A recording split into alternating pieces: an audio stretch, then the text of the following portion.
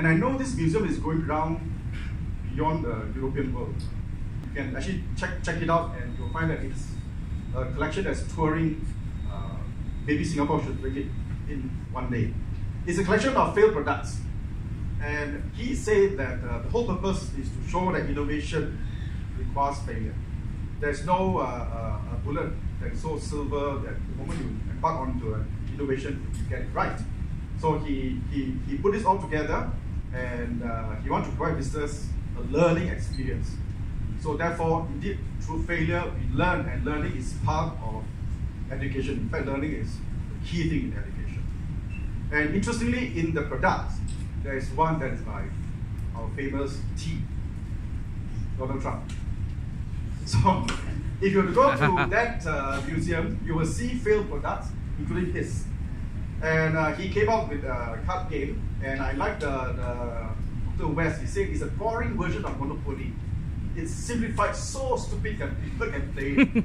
okay, I, I, don't know what he's trying to reflect, but anyway, it was uh, uh a failure. It's called I'm Back and You're Fired.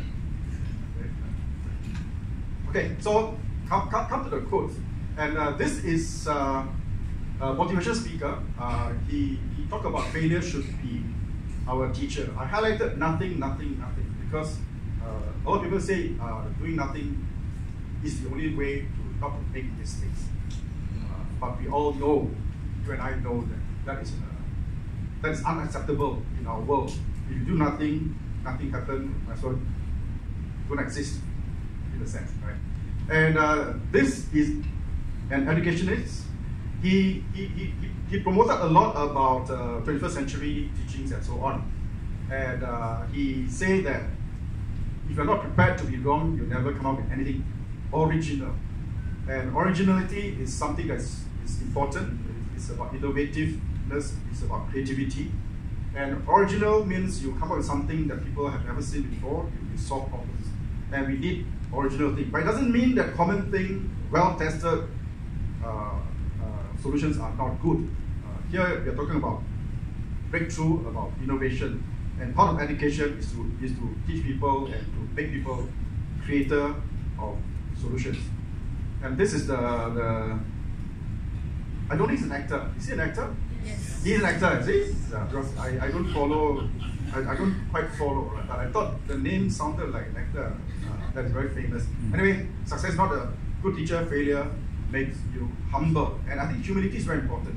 If all of us are always successful and you never face failure, we will never be humble enough to want to learn. And pride is always the beginning of downfall. Okay, so uh, the, there's a Chinese word that say, if you are proud, 骄者一败, you will surely fail. So, uh, I don't want to go into stories because I know I only, I only got 10 minutes. And Winston Churchill talk about uh, one failure leading to another failure if you keep doing it with enthusiasm. So enthusiasm is the motivation behind why you keep trying, trying, trying. I think that's the biggest spirit as well. That we want to succeed, we want to try things out. So um, the attitude of not bowing down to failure, but to look at it like what C.S. Lewis put it. Uh, he's the one that gave us the book of Narnia and, and, and uh, a very famous writer, right?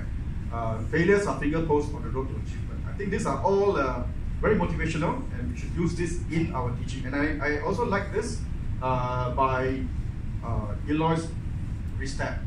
I couldn't find the photograph. Apparently, the photograph is not in the public domain and uh, she has passed away long ago. Uh, I like this because when we allow ourselves to fail, when we, when we, when we give ourselves permission to fail, we at the same time give ourselves permission to excel. It's very liberating.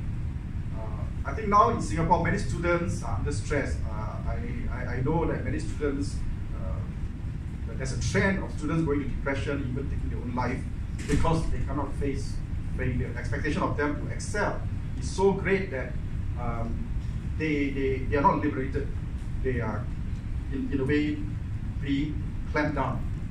And uh, 21st century skill sets want our people to learn to be creative, to be able to think critically, to be able to communicate, to be able to collaborate. And in all these so-called four C's, they're bound to be uh, uh, failures. Failures are part and parcel of all these things. the, the why you are why you are why you need to think critically because along the way something not quite right. You want to analyze and criticize the processes and so on. You need to communicate because if you do not communicate, again, communication is important to overcome communication breakdown, which is a failure in the, in the, in the collaborative processes and so on. And this are indeed the desired outcome of why at the Science Center we, we, we push for STEM applied learning programs.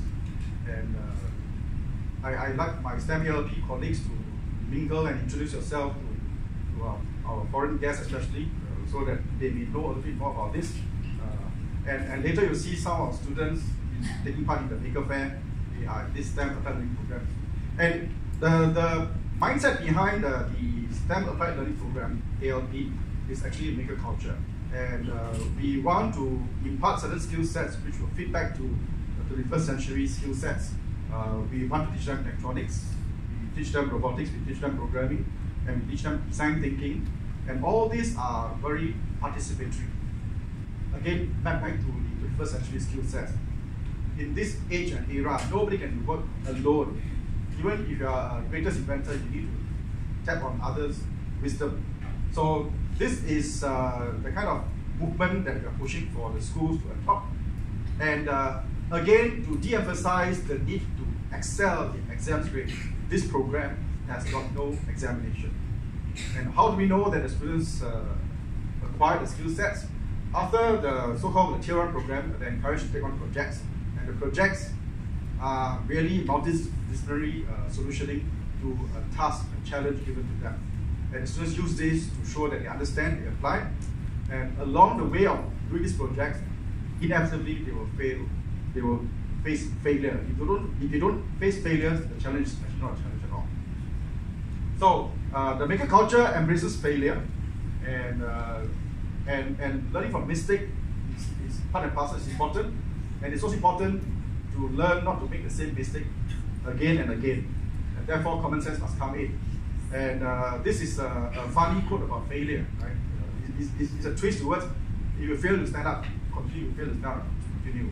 But sometimes uh, we forget about common sense. So this quote is to remind us that uh, sometimes we think that we need to be so clever, so innovative to solve a problem, but actually what you need is just a little bit of common sense. Uh, I gave a talk many years ago about creativity and innovation, and I said sometimes the most downplayed factor is common sense. Uh, I won't tell you a story. No, no time. So this is, uh, I thought, good to remind ourselves that uh, the problem is simply because we forgot about common sense.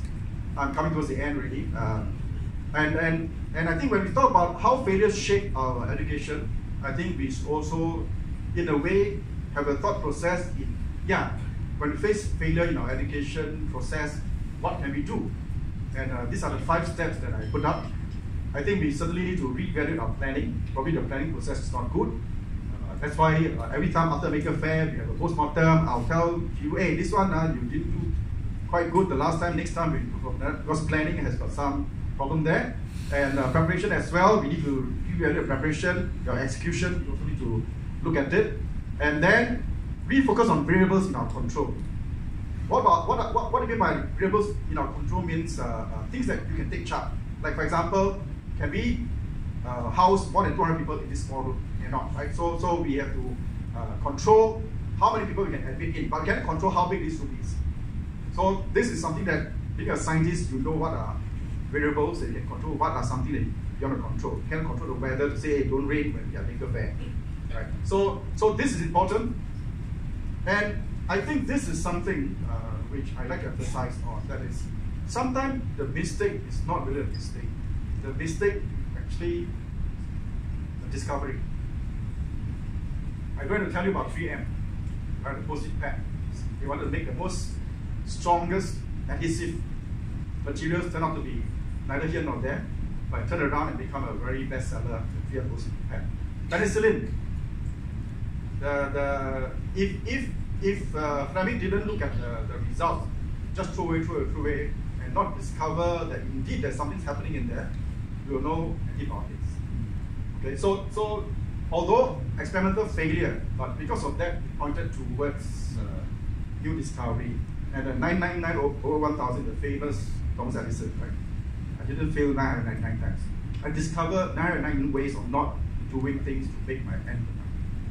And very often, the kind of failure we face are part and parcel of really leading towards the, the outcome we want. And that's why we have animal trials. That's why we have uh, modeling. That's why people coming to, to applying, implementing medicine to, to everybody. There are, clinical trials and so on and so forth. The trial means trial and error. They are, they're bound to be error. So this is my final slide. To err is human. All of us know that. The Chinese words there, 人非圣贤, you are not God. Okay, so all of us bound to make failure, and therefore, not to let failure shape our education is against our human nature. Uh, so, with that, I want to thank you for agreeing with me, uh, because uh, it's only human that we make mistakes, and therefore, be kind to ourselves, be kind to our children, be kind to our colleagues. If there are failures, don't have to say you are doomed, you are fired. Okay, not that I'm bad, you're fired like uh, Donald Trump style of things, but yes, from failure we learn, and that is how failure shapes education. Thank you very much.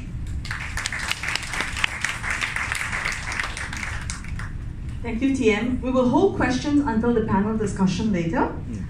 So we learned about failure, and we also looked at how not to look, let failures shape our education. And I think that was a very apt quote that segues very nicely to what our next speaker will be speaking about. So one of the things that when we talk about failure these days, I think many of you would have heard of the term that is fail fast. Fail fast, fail forward, fail often. So um, our next speaker is going to be speaking on the topic of how to fail fast with Shenzhen. Uh, he's Mr. David Li, uh, who is actually the co-founder of Hacked Matter.